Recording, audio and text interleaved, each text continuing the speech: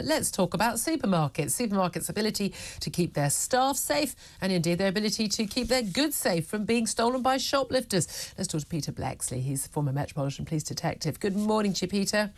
Good morning. Thank you very much indeed for joining us. I mean, two stories really very much combined. The Tesco boss has been speaking this weekend about having to offer body cams to his staff after 200 assaults on staff every month. Okay, a lot of staff employed by Tesco, huge big retailer, but still one is too many.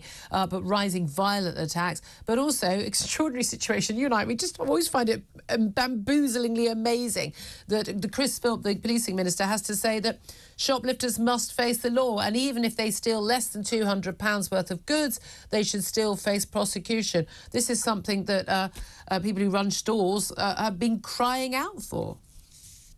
Oh, absolutely. Whether that be your local news agent who runs it as a small family business, the convenience store where you go to get your bread and your milk when yeah. you don't want to go to the supermarket, or it's the massive retailers, the Tesco's, the John Lewis, the Waitrose, and the like. Yeah. I fully support Ken Murphy, CEO of Tesco's here, in wanting to roll out body worn videos for their staff, but there's a couple of words of caution. Firstly, optimistically, when the police started wearing body worn videos, there was substantial evidence to show that it de escalated some situations. That would be a good thing. But secondly, these body worn videos are going to gather evidence evidence of theft, potentially evidence of assaults. Now, this evidence mustn't be allowed to just languish in some computer server. Yes. These the evidence must be compiled, put into packages, and the retailers must insist that they prosecute oh, well, these offences. All very well them doing that. Again, I've spoken to loads of managers of local high street stores, from including the big major supermarket and others, and they say we've got CCTV footage, we've got witnesses, we know the names of the people, we've got everything there. Police still won't prosecute. Yeah, absolutely. Well, there are a number of private security companies who have prosecutions departments. And I would urge the retailers to reach out to these companies who are, not surprisingly, a growing industry. They are capable, they are largely staffed by experienced former police officers. Have you got shares are... in one of these companies, Peter? I just want to check. Most definitely not, Julia. I, I want to ask. My integrity is not for sale. I have no connection or financial interest in any of these companies. But, uh, no, I'm sure I, would, I was joking. But Peter, honestly, I don't think that any business, any any individual should ever have to resort to going to a private prosecution. Same way, I was pulled by that story that Waitrose were basically saying you can have free tea and coffee if you're a police officer because they want to have more police officers coming in and out their stores.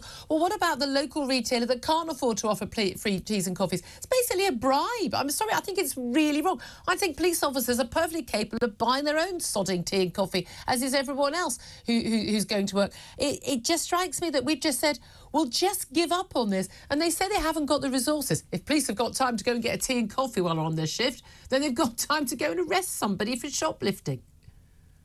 And astonishingly, this came from Waitrose, part of the John Lewis partnership, who have a non-intervention policy yeah. with regards to shoplifters. So talk about trying to have an each way bet, having your cake and eat it. Yeah. Um, it was astonishing. And of course, police leaders were very remiss and very quiet because did we hear from them? Were officers going to be uh, allowed to accept this gratuity, or yeah. would it be a disciplinary offence? As per usual, police leadership was nowhere to be found. No, indeed. It is just extraordinary, though. We, we, we, we talk about, you know, the violence in shops and, and what's happening there as well as shoplifting. Again, a lot of the security guards and others, they have a no non-intervention uh, policy simply because they, they're going to get violently assaulted and nothing's going to be done about that either. They then spend months off work, uh, injured, um, and they just think, what's the point? No one's going to prosecute anyway.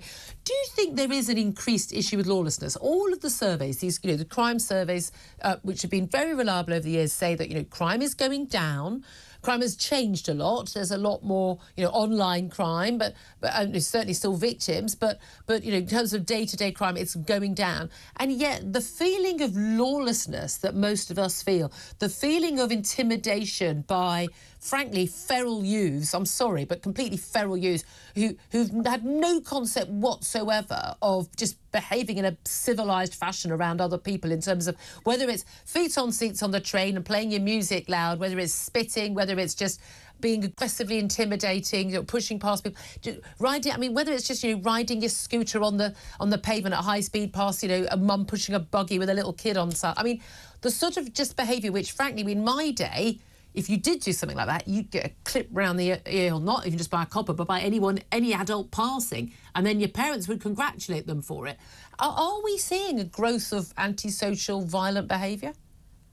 Most definitely, because the crime figures, as they are recorded, worrying as they are, are actually not a true reflection on the state of the lawlessness. Because so many people fall victims of crime and just don't report it because they know they will get no investigation and the police will begrudgingly issue them with a crime reference number. So, so much crime yeah. is just not on the radar. And of course, why did this happen? Because largely the police surrendered the streets when they stopped patrolling them. Because, of course, an officer who went out and patrolled his beat for the day, we couldn't measure his effectiveness or her effectiveness. Well, what nonsense that was. And of course, the chickens have come home to roost. Police leaders would tell you we're too busy dealing with other matters, but surrendering the streets was an absolutely abhorrent thing, and consequently, we are all a bit less safe than we used to be. Certainly feels that way. Peter Bleksley, former Metropolitan Police Detective, always good to hear your voice.